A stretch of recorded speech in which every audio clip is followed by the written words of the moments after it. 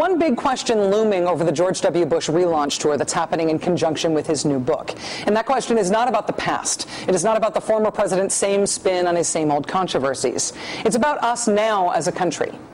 When a sitting president doesn't tell you the truth, especially about national security matters, it can be hard to fact check him in real time because you assume the president has access to information that you as a citizen don't. But this long after 9 11, this long after President Bush's decision to invade Iraq, we do have the benefit of clear hindsight. We can say, factually, clearly, without equivocation, without spin, whether or not he is telling the truth. And in his new book, Decision Points, and in his Think Kindly of Me media tour, President Bush is still not telling the truth on the biggest issue of all that you might think he would know we would fact check.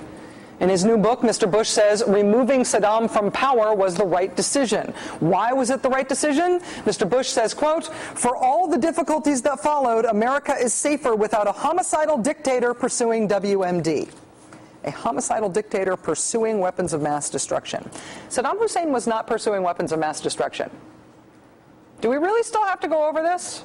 As David Corn and Michael Isikoff pointed out today, authors of the book Hubris about the lead up to the war, Mr. Bush himself appointed Charles Duelfer and the Iraq Study Group to study this issue once and for all and settle it. They reported six years ago in 2004 that Saddam not only did not have those weapons, he did not have programs to make those weapons, he did not have anyone working on making those weapons. Saddam wasn't pursuing WMDs. And we invaded anyway. It is proven. It is empirically known. It is settled. It's in black and white. It's true. Unless you're this guy. We cannot wait for the final proof, the smoking gun that could come in the form of a mushroom cloud. Not everyone believed him the first time around, but enough people did that we went to war under that false pretense. We now know for a fact that that was false, and incredibly, in print, he is still trying to sell it. Fool me once, shame on you. Fool me twice, can't get fooled again. Fool me once, shame on Shame on you. It fooled me. We can't get fooled again. Okay.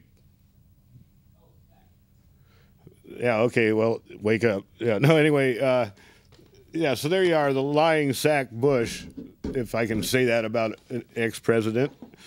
Um, man, lies after lies after lies after lies, and it's cost so many lives for those lies. And, you know, it's, it's coming unraveled, folks. It's coming unraveled. We're going to go ahead and play Bob Bowman. And, uh, he, you know, we'll, I won't be able to come back. We won't be able to do any calls. The next show is on December 4th. So, anyway, watch Bob Bowman, and we'll probably truncate a few minutes at the end but this is great. Everything he says is right on, right on. Thank you, David. And now we'll bring to the microphone Lieutenant Colonel Robert Bowman.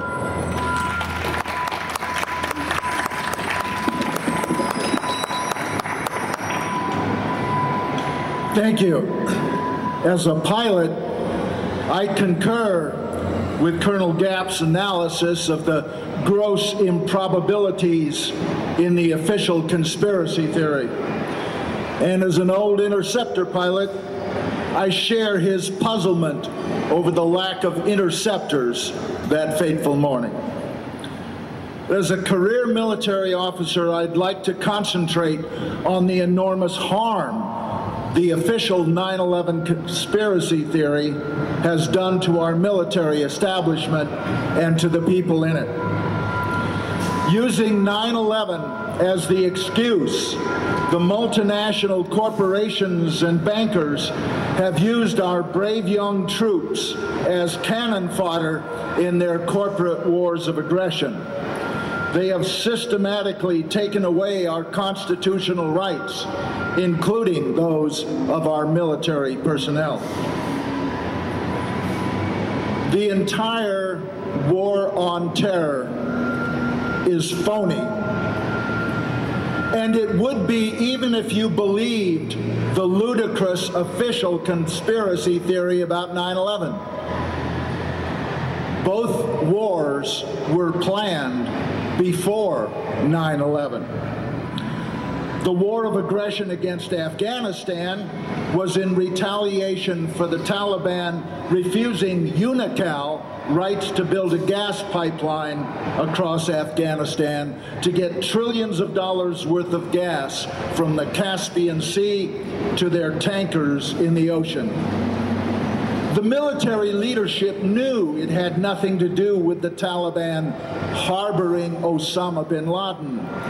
The Taliban had offered to give us Osama for trial, but the Bush administration ignored the offer for two reasons.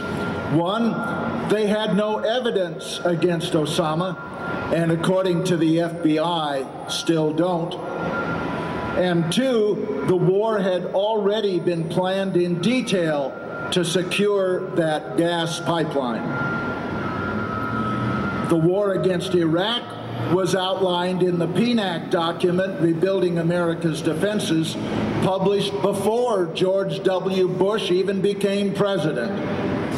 Its purpose was to provide a military staging base from which to control the entire Middle East and its tens of trillions of dollars worth of oil and gas.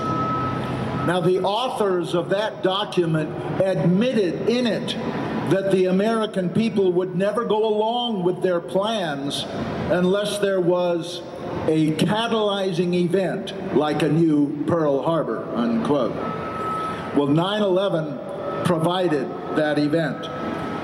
Yet they were unable to tie Iraq to 9 11, no matter how hard they tried. So they came up with a new excuse WMD, weapons of mass destruction. It is here that we in the military saw through their charade.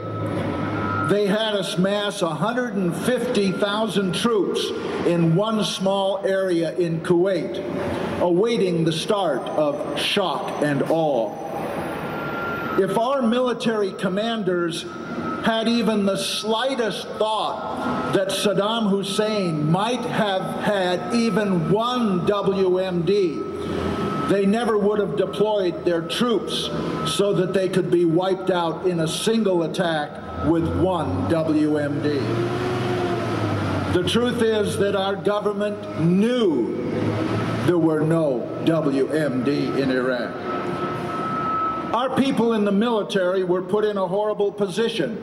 Either sacrifice their career and their freedom by refusing orders, or knowingly participate in a war of aggression against their oath of office and the Nuremberg principles enshrined in the Uniform Code of Military Justice. So we have two corporate wars of aggression wars in which we are making the same mistake as in my war, Vietnam. We are fighting the people who live there. What has been the result? About 5,500 of our finest have died.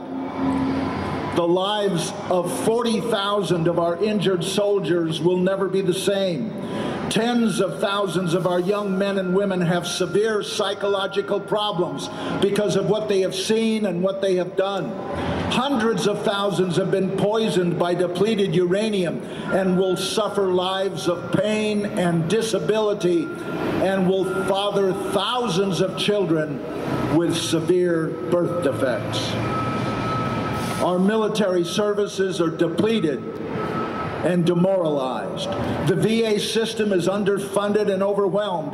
The National Guard and reserves have been subjected to tour after tour, disrupting lives for even the lucky ones who return unscathed. Jobs have been lost. Homes have been foreclosed, marriages have been destroyed, children have been estranged, and for what? We have alienated our friends around the world and made new enemies. We have created thousands of new recruits for Osama bin Laden, whether he's alive or dead. And we have further endangered the American people, and all because of 9 11. You know, there's massive evidence of a cover up with respect to 9 11 itself. I've spoken with both Governor Kean and Congressman Hamilton, the co-chairs of the commission, and they both say that there are outright falsehoods in the final report. Never mind all the omissions. The report over which they had no control. It was written in the Bush White House by Philip Zelikow. Now, when you combine this with the confiscation of videotapes, audio tapes, black boxes, and other evidence by the FBI, it is clear that regardless of who was responsible for 9 11, the subsequent cover up was itself a conspiracy involving elements of the Bush White House and the intelligence establishment. To prevent further 9 11s, we must get to the truth about all those involved in the last one. You know, the American people have never been told who was really responsible for 9 11. Dedicated researchers, like some we've heard today, have proven that it could not have happened the way the Bush administration said it did. Hijacked airliners do not fly around for an hour and 40 minutes without being intercepted, unless our air defense system was deliberately sabotaged.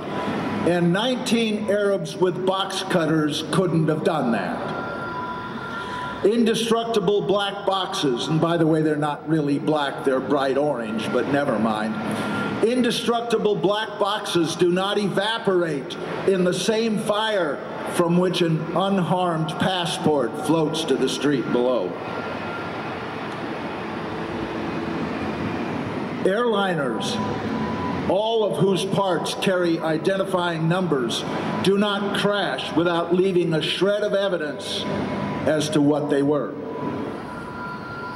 You know, the truth about 9 11 is that after nine years, we still don't know the truth about 9 11, and we should, and so should the families of victims.